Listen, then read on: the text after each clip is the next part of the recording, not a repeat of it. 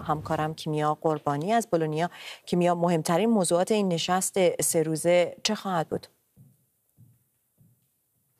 از صبح امروز وزرای دفاع عضو کشورهای جی 7 در شهر ناپل ایتالیا دور هم جمع شدن برای برگزاری نشست های سه روزه که از مهمترین موضوعات آن میشه اشاره کرد به بررسی موضوعات و مسائلی که تاثیر داشتن در ثباتی در سطح جهان و در پی اون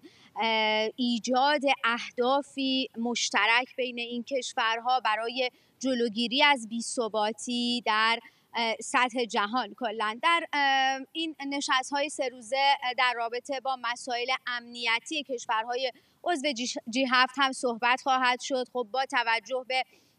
درگیری هایی که در خاور میانه وجود داشته بارها اعلام کردن که ممکن هستش که زنگ خطر در واقع ایجاد عملیات های تروریستی در کشورهای اروپایی به صدا در بیاد. برای همین در پی راهکارهایی هستند برای ابتکارات پیشگیرانه. یک یادداشتی رو منتشر کرده امروز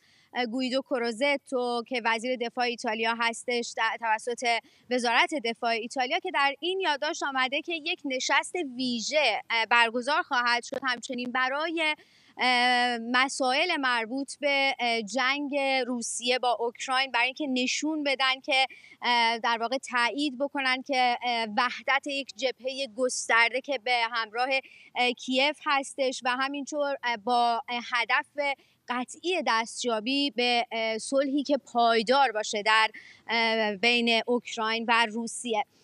خب وزرای جی هفت با توجه به این یادداشتی که منتظر شد منتشر شده بر این باور هستن که وزن سیاسی که در حال حاضر جی هفت داره می‌تونه ابتکاراتی رو بر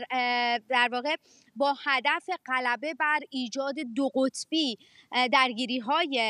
در واقع منطق درگیری های دو قطبی ایجاد بکنه و دعوت بکنه از کشورهایی که عضو اتحادها مثل همین مثلا اتحادیه اروپا یا عضو جی هفت نیستن تا در کنفرانس های صلح جهانی شرکت داشته باشن مثل کشورهای بریکس از جمله چین، روسیه، هند در واقع گسترش دادن و نزدیک شدن به کشورهای مختلفی که حتی در واقع از نظر اختلافات سیاسی زیادی وجود داره برای کم کردن تنش ها در سطح جهان و